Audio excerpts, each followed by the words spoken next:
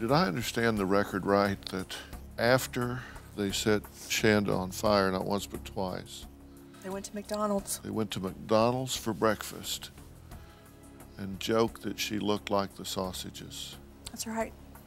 It's horrendous. It's absolutely horrendous. It's it's it's just beyond belief. And two of them are out of jail. Two of them are out of jail today. How, how do you feel about that? I don't feel good about that. I I have tried so hard to deal with Shanda's death with a little bit of dignity because I'm Shanda's voice now.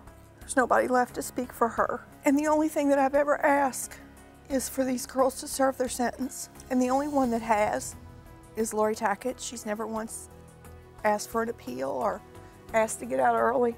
But the others did everything. I mean, Melinda just recently exhausted all her appeals. Hope Rippey went back and back and back until she actually got a judge to completely resentence her and she shaved 15 years off of her sentence. There was only one thing they could do to show their remorse, and they couldn't even do that. So I don't feel good about that at all.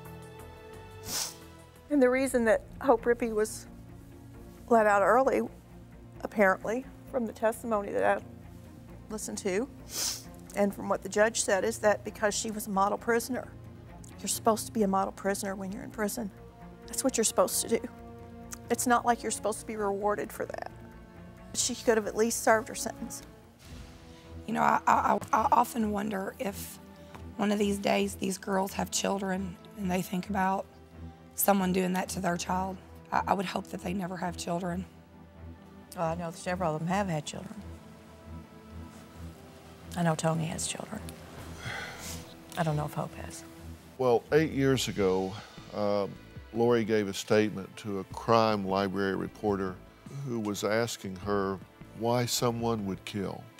Here's what she said. She said, quote, let's say for instance, I know a couple of people who kill simply for the fear that they see in their victims' eyes and for the sight of the blood on their bodies.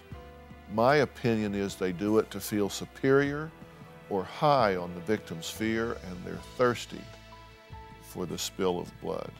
What do you think about that? Is she talking about herself there? Yes. She testified at, at uh, one of the hearings that she knew it was her destiny. She had always known it was her destiny to murder someone and to spend the rest of her life in prison.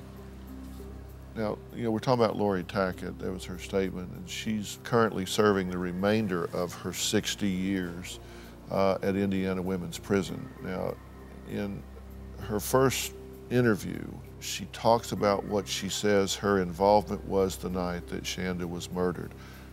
Uh, will y'all look at this with me, Certainly. and then we'll talk about it? Okay, let's take a look. I didn't know Shanda at all. I didn't go into that evening knowing anything was going to happen, wanting anything to happen, expecting. I didn't. Peer pressure. That's all it was. It spiraled out of control way too fast. It's something that should have never happened. If I knew then what I know now, I would have never have been there. I would have stopped everything from happening and I would have never let Shanda be picked up in the first place.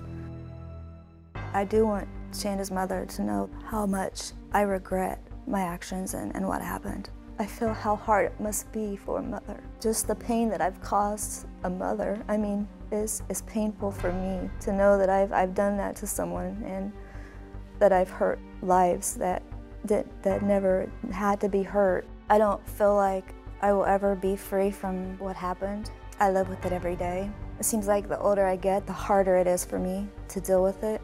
Every January, I relive pretty much what happened, and it's, it's just extremely hard. I really don't honestly believe that I will ever be able to move on.